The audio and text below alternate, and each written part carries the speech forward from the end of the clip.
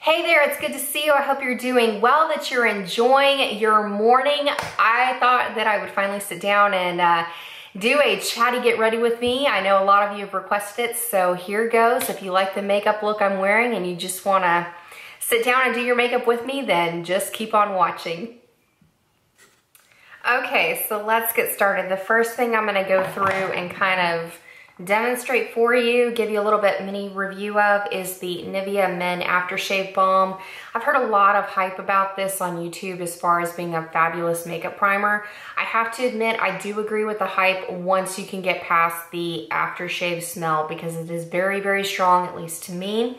Um, I'm pretty sensitive to smells, but as far as buying the post-shave balm. You can find this at Target, Walmart, CVS, Rite Aid, Walgreens, you name it. Um, it retails for about, I wanna say between five and $6. I paid like five and some change for this and I went on and got the sensitive formula because I wasn't sure how it was going to react with my skin so I didn't want to have a bunch of breakouts. I've been using this for about the past week and a half and so far so good outside of the normal hormonal breakouts that we tend to get. Yay! so, so far so good. It's just the aftershave smell is a little bit weird. It's a lotion type consistency. It's very thin and watery.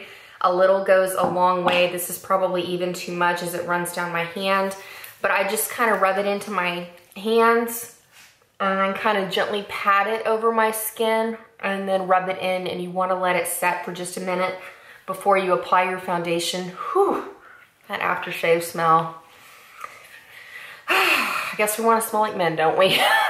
it does go away. I mean, don't worry about it lingering around because by the time you finish your makeup, you won't smell that aftershave smell anymore, but it is a little, little weird putting it on your face at first. And like my husband came in and he was like, why are you applying aftershave to your face? And I'm like, it's makeup primer. YouTube made me do it. He was like, all right. So all right, forgive me if I'm all over the place talking with these get ready with me videos. This is my first time kind of doing this as a chatty besides that Sephora one I did a while back. I'm just not used to talking when I do my videos. And so I want to, or my get ready with me's, that didn't make any sense. But um, I'm, I've got to practice. But I enjoy watching your get, get ready with me videos because I, I really do feel like you know, we're just sitting down chatting like, you know, having a cup of coffee, talking makeup. And so I'd like to be able to do some more of these once I get into a little bit better habit of being able to talk and do my makeup at the same time. So, all right. So as far as foundation, today I'm going to go on and go in with the um, Clinique Beyond Perfecting Foundation Plus Concealer. I bought this because I wanted to compare it to the CoverGirl 3-in-1 That Will Last Stay Fabulous Foundation. I'm curious if this is the high-end version of that foundation. I'm gonna do a full wear or weightless stick comparing the two, um, so that way you can have both price points, but I feel like they're kind of going for a similar concept. They're both very full coverage foundations. The only thing is this one from Clinique comes with the uh, doe foot applicator to kind of give you more precise application. Not really a huge fan of that, um, especially as you get further down into the foundation because I feel like that could make it an issue to finish it. I don't want to have to remove stoppers and, you know, risk the foundation drying out. So I prefer the pump of the CoverGirl Outlast Stay Fabulous. But like I said, let's look awkward with foundation on our face, shall we? Um, but I'll give you a full review on how I feel. Because the other one I'm kind of thinking too is, I think I may have finally found a holy grail product to match the um, Maybelline Instant Age Rewind and um, Brightener. I've been using that for years. And now that Urban Decay has released that Naked Skin Color Correcting, I bought the pink one to try out.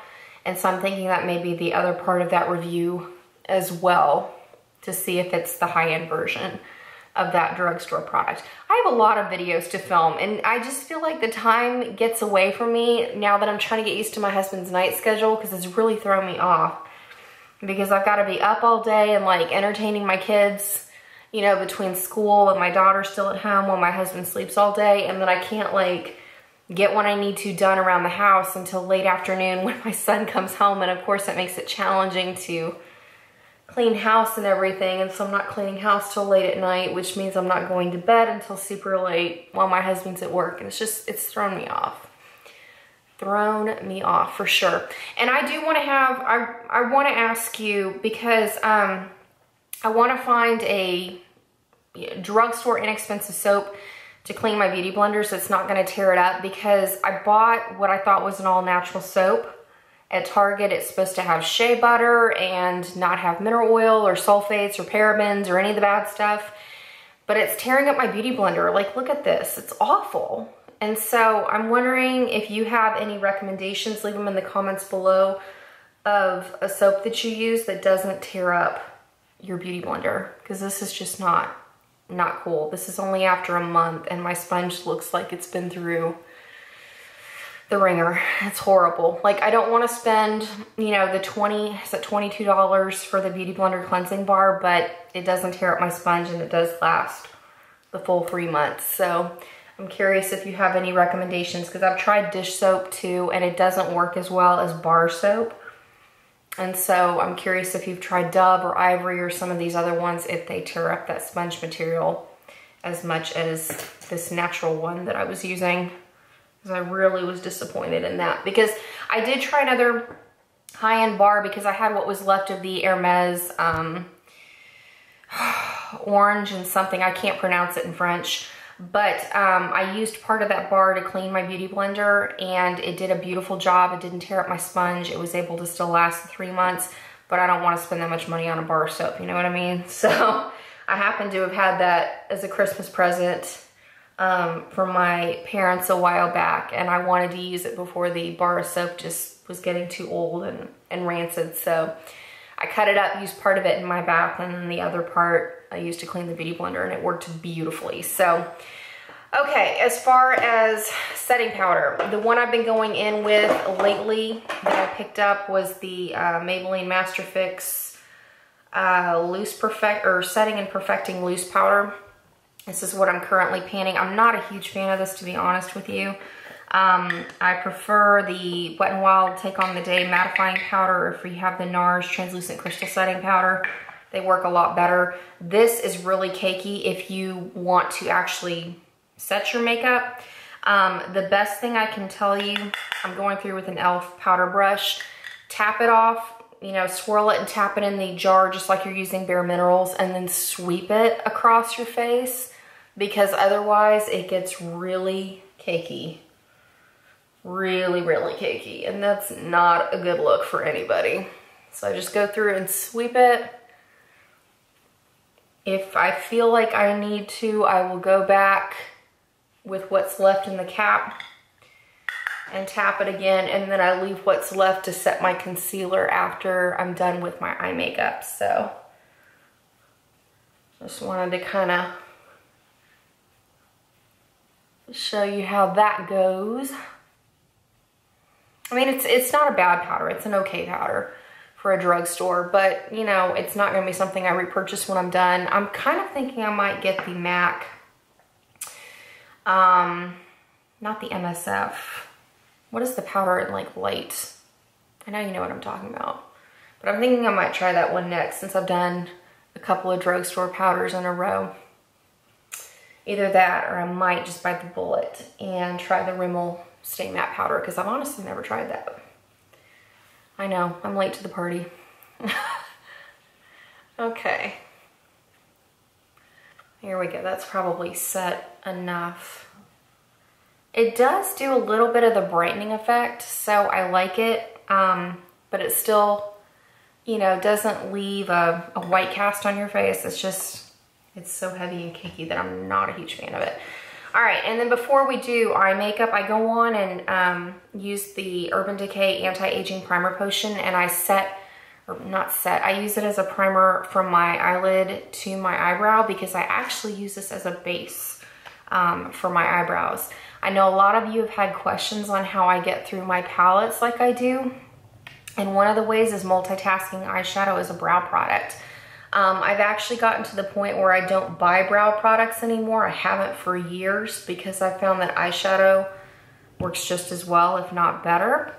Um, so I go through and I just kind of run that primer potion up into my brows and I don't have to use any brow gels or um, brow waxes because the eyeshadow stays all day long and I'm not buying additional products. It really helps me to get through um, some of that extra like darker brown eyeshadow or if I have an eyeshadow that's really ashy looking on my skin, nine times out of 10 I can use it in my brows if it's a dark brown shade or if not I can mix it with um, a warmer shade to complement my brows. So actually let me go on and do my brows and then I'll cut the camera off and go into my eye makeup because I don't want to make my camera get too hot. So basically what I'm going to do is I'm going to go in with Sandstone from my Stila in the Light palette and I take a stiff eyeliner brush. Um, this one happens to be from Bare Minerals. I know you can buy one from Sephora. They're selling them for seven bucks right now. So um, it works just as well or get one of the Real Techniques eyeliner brushes. You can use that to fill in your brows. But basically I go through with Sandstone and fill in I go over my entire brow since they, I mean, you can see for yourself on camera, it's just, they're non-existent. Very faded, and because I have hypothyroidism, the ends of my um, brows are very, very faint, even though my medication dosage has been doing pretty well for the last couple of months. But that's one of the first things you kind of look for when you're having thyroid issues is your eyebrows will get kind of sparse on the ends. Really kind of bizarre. But I just go through and since I'm trying to do this without my glasses on, what I do is I basically go in and do the shape of my eyebrows. And then after I'm done with my eye makeup, I'll get in real close to the mirror and kind of touch up if I need to.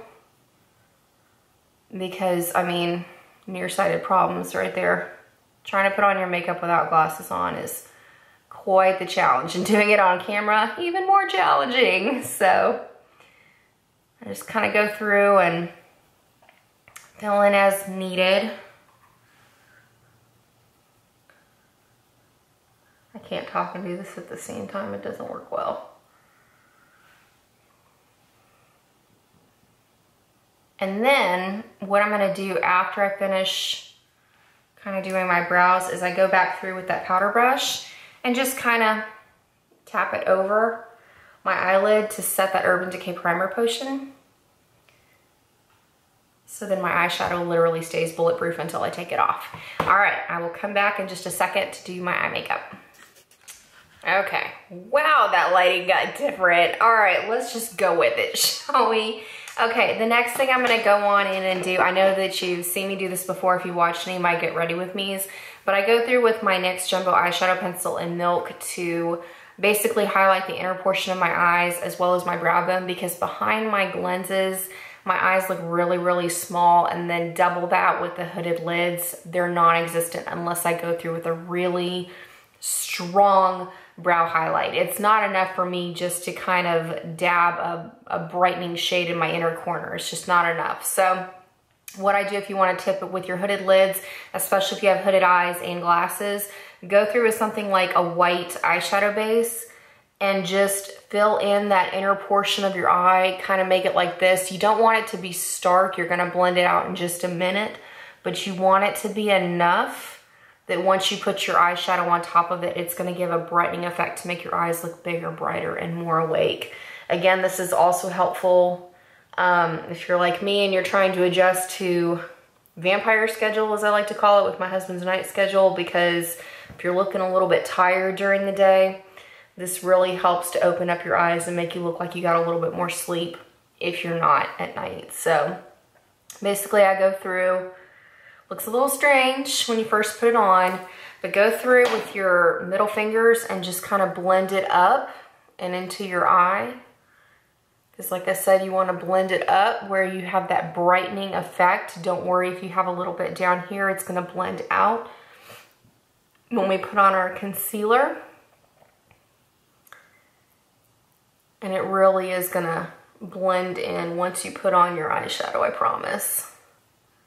I just kind of blend it in like that where you're to have a little bit of a, bit of a brightening effect. And then I'm to go through with my Wet n Wild Eyeshadow Icon Pencil in Pixie. Just run this across my lid to give me a beautiful champagne base before I go in with that Stila in the light palette. So super, super easy. Okay. Now back to how I pan a palette. The next thing I'm gonna do um, is go in with the transition shade. And so I'm taking Bliss from my Stila in the Light palette and I'm also combining it with, I forget what the shade is down here, but this comes from the Stila and the Know palette. It's that bottom row, third brown shade from the left. It works really well to kind of cool Bliss down just a little bit to kind of anchor anchor my eye look in, but it's also um, very, very flattering for my skin tone.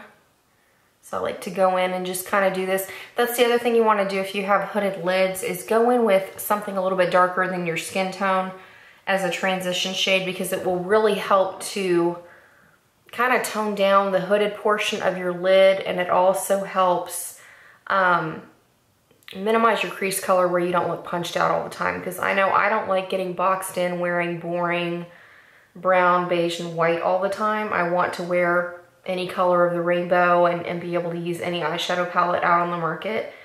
And this is one of the tips that has really helped um, broaden my horizons as far as my makeup wearing is, is wearing a transition shade. And you can use warm browns, you can use cool browns, you can use, um, you know, beige, peach, whatever you want, but any of those transition shades or when you hear people talk about transition shades in their videos, like if you watch Jaclyn Hill or um, Makeup by Tiffany D or Marlena with Makeup Geek, um, when they talk about transition shades, those are ideal for us with hooded lids. So basically I go in with those. And then what I'm gonna do next is I'm gonna take this e.l.f. C brush like this. I do need to wash it. I used it yesterday and I didn't wash it, but I'm gonna go through with, with uh, Kitten from my Stila in the Light palette and pat this all over my lid on top of that um, Pixie pencil. And I just wanted to share kind of an observation. I don't know if you feel the same way, but I'm kind of looking ahead with panning my palettes and um, I'm looking to pan the Too Faced Chocolate Bar next year. And I'm kind of thinking I need to start a little bit in on it this year because there is so much shadow. I mean, it's to the point where I'm going to be really honest with you. That palette scares the bejeezers out of me. Like, I'm... um, that's a lot of shadow. A lot of shadow. And when I was looking at it last night next to my Stila and the Light palette, the shades that I'm kind of apprehensive about in Stila and the Light are Gilded Gold and Luster. Those are the two that I feel like I'm going to hit my brick walls on. Um, I probably should tackle Gilded Gold next after I finish Night Sky because like I said, it's gonna be one of those shadows that I'm really, that's gonna be my wall, my first wall with the Stila palette. We all have them, you push through them, it's, it's okay. It's just kind of tough when you deal with it. But um, I was looking at the Too Faced Chocolate Bar palette and it's really similar to the Stila and the Light palette. I don't know if you've noticed that, like pull them out if you have it or if you're panning your Stila and the Light palette because let me just show you real quick. I was looking at it last night and it just really kind of made me even more intimidated to take on the Too Faced Chocolate Bar because it's a lot of brown. It's a lot of brown eyeshadow, but kind of take a look at, what is this shade? White Chocolate. It looks very similar to Bare. It's a little bit more yellow tone than Bare, but like I said, it's pretty similar. Like I've got Bare and then I've got Air Air or whatever the one next to it is in the Stila and the Know palette. And I'm just like, it's a lot, a lot. And then I was looking at shades like Sunset kind of reminded me a little bit of Amaretto. Amaretto is a little bit darker, but still kind of trending on the same note. Um, and then I found a dupe with um, Brown from the Lorac Mega Pro palette to Mm, milk chocolate, this shade right here. They are literally the same thing. They swatch the same and everything, even though they look slightly different in the pan. And then I was looking at other shades like Bubbly, kind of looks like um, Creme Brulee. Gilded Gold reminded me of Hot Chocolate from this palette. This shade right here, they swatch very similarly, which is one of the reasons I was kind of like, more the same, I don't know. And then, what was the other one? Luster. Luster kind of it's not as dark as Triple Fudge, but it's got that shimmery darkness to it and it's kind of scaring me a little bit. So, I don't know. Just kind of, kind of putting my thoughts out there. This palette is really, I don't want it to throw my groove off. You know what I mean? Like, I don't want it to mess me up because I'm, I, I think of Angela every time I look at this and remembering her panning all her different looks. And then like Kyla is panning it this year and there are several other of you panning your your chocolate bar palettes and I'm just looking at it and, and it's intimidating me. You know, Stephanie, you too, girl. Um, because it's like when I've looked at tutorials on YouTube, mostly people have used amaretto, milk chocolate, marzipan, and um, sometimes cherry cordial, sometimes that shimmery brown. And beyond that, you don't find a whole lot um, of tutorials and things like that. So I'm sitting there thinking, yes, it's going to expand me out, you know, creatively to come up with some different ways. But at the same time, that's a lot of shadows. So I don't know. I don't know. Comment below kind of your thoughts on it because I know like Stephanie, Kyla, all of you that are panning the, the Too Faced chocolate bar, like props to y'all. Seriously, because that palette, I don't know. Like there's way more shadow in there than there is in the Naked palette. And that took a long time.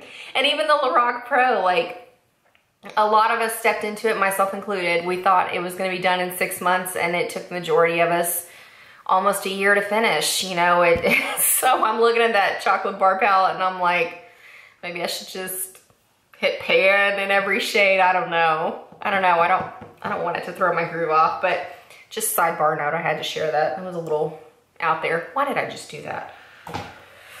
I cannot talk and put on makeup at the same time. So let me go up and touch up that transition shade real quick. But basically, kind of going back into painting a palette as we go into a palette that's not quite so difficult, frankly, because it's way old. That's why it's panning so quickly.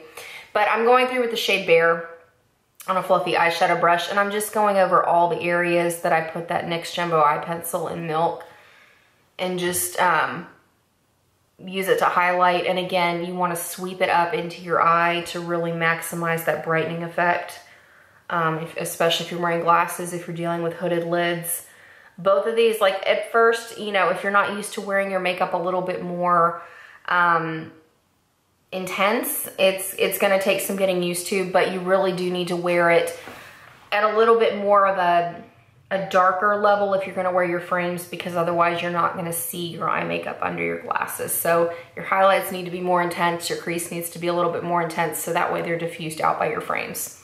Okay, then I'm going through with this crease brush from MUA. I found this at, no, it's Revlon. Revlon crease shadow brush. I found this at, I wanna say I bought this at CVS or Walgreens. I really, really enjoy this brush because look at this. It's a little bit wider, but it still comes to a dome point. I really enjoy this with these dark shadows. But basically what I'm gonna do is I continue painting my palette is I tap it into Night Sky. I do tap off a little bit into my sink because since I've repressed it, the shadow is very powdery. And basically what I do is I stamp it into that outer portion of my eye like that. And then I sweep it up into my crease. The bonus of doing it this way is you can always build up the color whereas you can't take it away. So I go through and lightly do it this first round, even though it's gonna probably appear a little bit more intense on camera if I could see it. But um, kind of go through, and sweep it up into your crease. And before I like add anything, I go on and do the other sides, make sure they're pretty much on an even keel. I stamp it into that outer corner, blend it up into my crease. And I like kind of going with a lighter application, especially with the shade like Night Sky, because you have an ability with these neutral shadows that depending on your intensity with them, you can make them work with any blush that you own, any lip color you own, any outfit you own, so that you don't have to feel so limited in panning or feel like you're getting sick of a look because you're constantly having to wear the same things to make it work. Um, I have found that I can make this gray eyeshadow work with absolutely anything in my wardrobe, any season. I'll show you how I make it spring appropriate as we get into the mascara. Um, because I mean, I know a lot of people will look at gray eyeshadow and think you're limited to, you know, the fall and the winter, but no, you can make gray eyeshadow work all year long. Change up your mascara, do some brightly colored things, change up your lips, change up your blush. You can easily, very easily make it work for you. So because Stila has a little bit of fallout, I go back through with my powder brush and just sweep under my eyes when I'm done to make sure I don't have any fallout. And then I'm gonna go through with um, some of my MAC Black Track Fluid Line, just pick any of your favorite cream or gel liners. I'm going in with a Real Techniques liner brush. I don't do wings because my glasses will hide it and my hooded eyes will also hide it. So I'm just gonna go through an eye line, line my eyes as normal. And then I go back through and I set it with Ebony from that Stila in the Light palette because I have problems with my liners transferring when I don't set them during the day. So that gives me a way to kind of get through those darker shades because I know I have a harder time using something like a black shadow as standard shadow because it's so over the top to make my eyes look really, really small. So I'm just gonna go through very easy, no muss, no fuss kind of line.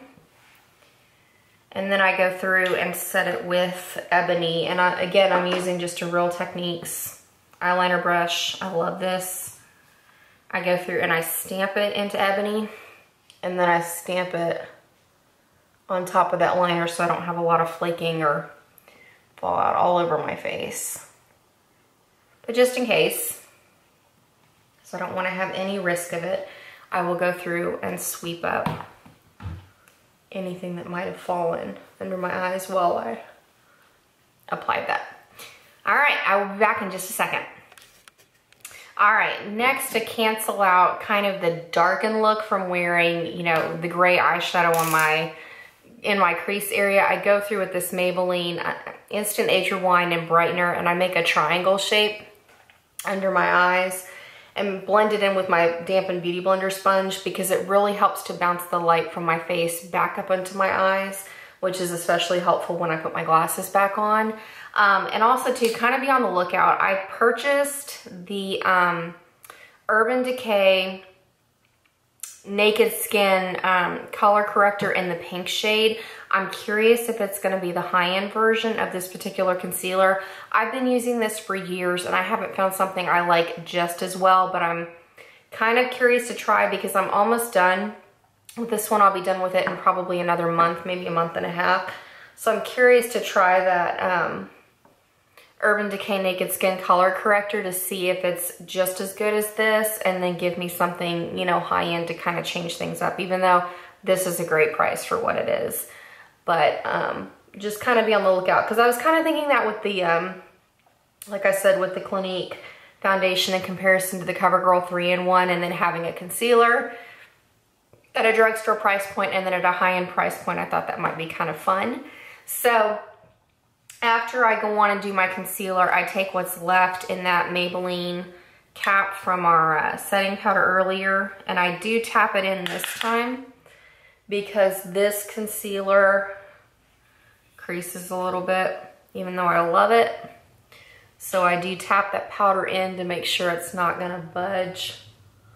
And then I don't have any problems with it moving during the day. And then I've got a little bit of powder left in the container because I accidentally poured a little too much, so I'm just gonna go through and swirl it over my face, make sure we've got all our areas covered up, good to go.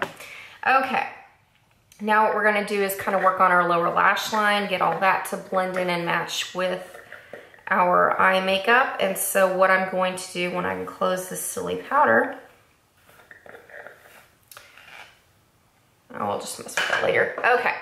I'm gonna go through with the NYX Wonder Pencil in the shade Light and just go through my waterline. I hope this doesn't gross you out because I know I get a little bit weirded out when people are putting things in their waterlines on camera. Even putting on contacts, like it never bothered me to put in my own contacts, but to watch somebody else do it, it kind of grosses me out. I don't know. Maybe I'm just weird like that. Okay. But basically I'm gonna go through with, um, what is this? The Real Techniques accent brush. It's a really, really teeny tiny brush and I'm gonna go through with a little bit of night sky. I just pat it into the shadow, tap off the excess since that um, shadow is powdery from repressing it. And then I'm gonna go through and line the um, outer half of my lower lash line just to anchor that gray shadow. I don't go all the way across because it tends to close in my eyes, so I keep that shadow just to the outer half of my eye. And it helps to elongate my eyes a little bit and make them seem a little bit rounder in the center, kind of taking away from that almond shape that I've got going.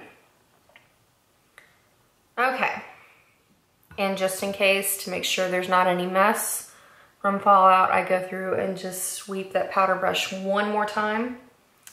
And then let's go on and do our contouring. What I've been doing lately is taking my Hourglass powder in dim light and I've been going through just as a typical contour. It makes a beautiful, subtle, not a clown face line of demarcation because I'm not really into that. I mean, I, I need a stronger contour now that we're getting into warmer weather again, but I'm basically just taking the Sonia Kashuk version of the NARS Ita brush. I stamp it into the Hourglass powder and I'm kind of going a little bit above my cheekbones on the side, but I go down like this and then I blend it up onto my face. Wow, my face looks like so different from my neck in this lighting. Not cool. All right, because in person this matches really well, but on camera, it's a different story. YouTube problems, I swear. All right, but go down here and I'm just I, you basically see, I really just want to hollow out that cheekbone area without like sucking in my cheeks and all that, but I blend it up just because I want to, you know, kind of give a nice shape to my face without having it be really, really obvious. And then I go through and do my hairline and do the other side, and then I take it down the sides of my nose like so and a little bit under my chin. And it works really, really well as a very, very subtle contour. Then I'm gonna go through with my Benefit Hoola bronzer and I've got a, not, I mean a Bare Minerals angled brush. I'm just gonna go through and make threes on the side of my face. Basically start in the middle so that, you know, you get that sun-kissed glow on your cheeks swirl it up into your temple and forehead area and then swirl below to get the underside of your jaw. And that way you don't have any harsh lines with your bronzer. And then go through on the other side, start that three, go up into your hairline and bring it down. It's a complete goof-proof way to do bronzer and then you don't have to worry about going way too heavy. And then if you want, take what's left, just kind of dust under your chin to help slim everything out and then go through on the top of your forehead. So very, very easy. Then my favorite blush that I've really been loving lately has been the Benefit Rockateur. I can't get enough of this blush this month. It really is helping to make this gray eye a little bit more spring appropriate. It's just a really beautiful neutral pink color. I'm going through with the e.l.f. blush brush right here. I'm keeping it towards the back side of my cheeks so that way my face stays very balanced under my frames. So I just keep it back there like this. And another tip, if you're kind of looking at panning your blush collection and you're, you know, a little bit intimidated by some of the colors that you own, one of the things that you can do is go through with a fluffy eyeshadow brush. This happens to be a concealer brush from e.l.f but I like it because it has the really fluffy bristles on it. Go through with whatever blush you're trying to pan. After you apply it to your cheeks, take a little bit on that fluffy brush and sweep it through to blend out your crease color. It will warm it up, it will anchor your look down, and it will also make it very more, not very more, it will make it more flattering for your particular skin tone if you have it on your eyes, translating down to your face and reflected in your lip color. Um, so that way you don't have these striking clown cheeks that you just feel are really out of place on your face. So I do this with every single blush color, especially if I feel a little bit uncomfortable with it. You can even do this with some of your crazier shades, like if you have um, Urban Decay's Bittersweet, which is a really vibrant purple. Go through when you do a smoky eye, run that Bittersweet in your crease. It will warm up the look a little bit make it look more purpley, then you can anchor it to your cheeks and reflect it in, you know, kind of a purpley lip. It's really, really pretty. And also too, it helps you to pan a blush a little bit faster. So just go through tip of the day. I always do this no matter what blush color I have because it helps to tie in that neutral look and make it work with anything that you're possibly wearing. And then I'm gonna basically go back through with Stila in the Light. I have this Real Techniques contouring brush right here. I'm gonna go through with Bare and basically go over any highlighting areas. I'm gonna highlight the tops of my cheekbones because that's the other thing. I've really discovered that I'm a huge fan of matte highlights. They're really flattering under glasses and they also work a lot better for me under glasses than the shimmery highlights. So I don't buy highlights like I used to. I mean, I did um, get Champagne Pop for Christmas and I have a couple shimmery highlights I'd like to get through this summer, but it's another way that you can multitask a lot of your eyeshadow and go through and use your palettes if you're trying to hit pan on as many shades as you can this year start doubling up a lot of your lighter shades as highlighters all over your face. It works wonders to help you um, move through your collection. So, and then just to kind of touch it up, I'm gonna go through and basically touch up my eye highlight just because it tends to get lost a little bit as I do my makeup. All right, we'll come back and do some mascara and some lips. All right, the next thing I've got going is I'm gonna take this very basic Revlon eyelash curler and just curl my eyes. I hope that doesn't weird you out because I know I get kind of weird about stuff like that. But basically, if you want a quick tip for hooded eyes, go through and curl your lashes as normal and then kind of tilt the um, eyelash curler upwards. It really helps maximize that curl in your lashes. Don't pull your eyelashes out, be very careful.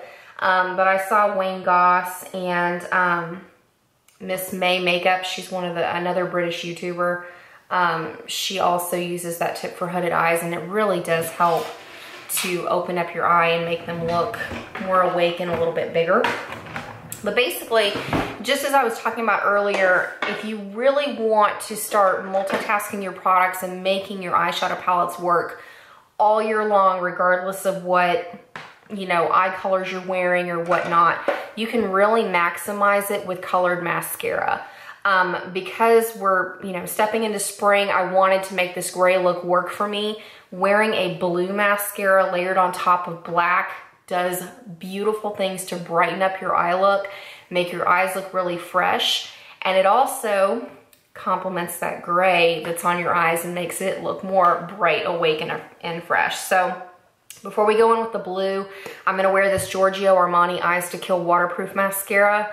I've been pleasantly surprised by this. I need to do this uh, in a wear it or waitlist it because um, I accidentally bought the wrong formula. I went to go buy the normal formula because I've heard, you know, Tiffany D talk about it for years and I thought, why not? You know, I needed a new mascara. I thought I would try it. Um, but I actually have been pleasantly surprised by my mistake in buying this waterproof formula because now that it's dried out slightly and gotten past that weird kind of flaky stage because it did flake initially when I got it, um, I really enjoy this mascara. So if you're in the market for a new one, I do suggest trying this out, but you do need to give it a couple of weeks because it was not something I enjoyed particularly. And I know a lot of other people um, are not fond of this mascara initially either. So um, but just to show you, going through, if you have purple mascaras or if you have blue mascaras or green or any of that, layer them on top of your black mascaras. It will help freshen up your look depending on the season. This is just a blue mascara from Hard Candy. I found this at Walmart. It was just a few bucks. It's kind of a crazy looking blue in the tube, but on your eyes, it's not gonna be that intense. So you wanna just go through give a quick coat to your lashes. You don't need to be able to see bright blue. What you're looking for is that brightening effect. So if you get the blue on the tips of your lashes, bonus. That is gonna be what helps. And then you still have the nice black coat to make your lash line look really thick and beautiful.